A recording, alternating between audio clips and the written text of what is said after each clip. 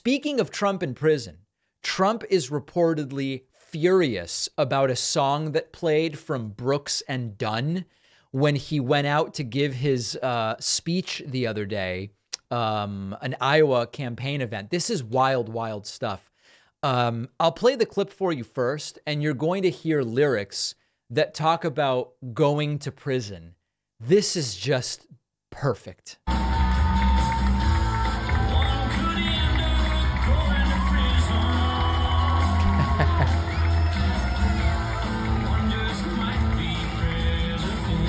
All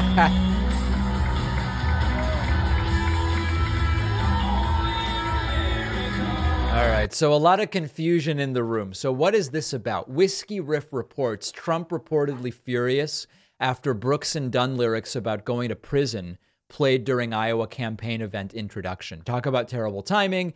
Uh, yesterday, all of the Republican candidates attended the Iowa Republicans' Lincoln dinner, giving speeches as they attempted to win over voters. That's not all that they were here to talk about. There was an awkward moment thanks to Brooks and Dunn. Trump is the front runner, et cetera, et cetera, facing le- legal trouble, indictments, et cetera. He probably didn't need a reminder of the looming threat of prison time as he walked on stage. Trump generally takes the stage, as many of you who have watched my live streams know, to Lee Greenwood's God Bless the USA. But everybody at the GOP, Iowa GOP event had the same intro music, Only in America by Brooks and Dunn. Unfortunately, it does have the lyrics one could end up going to prison, one just might be president which is quite ironic. And it reportedly infuriated Trump. I originally thought this is like some kind of, you know, they're trolling him. But every candidate went out with that music. It's absolutely perfect.